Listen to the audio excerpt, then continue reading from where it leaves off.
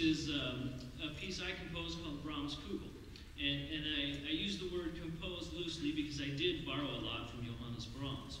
You see, one day, like many Norwegian American bass players, I was returning home from playing bass at a bar mitzvah. Upon arriving home, I thought I would set the um, first movement of the Brahms E minor cello sonata into duo for the two of us to play. Upon opening the piano music, I saw that it was written in two beat, and having just spent the afternoon playing in two beat, well, the rest is history. Uh, so I decided to make a klezmer version of the Brahms E cello sonata.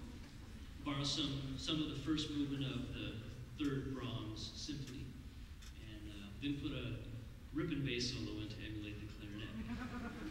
And why did I call it Brahms Kugel? If you're familiar with Kugel, it's a Jewish noodle dish served with raisins and cinnamon, and it's, uh, it's usually served that way. There's a lot of different recipes. But I thought Kugel sounded better than Brahms Lutefisk.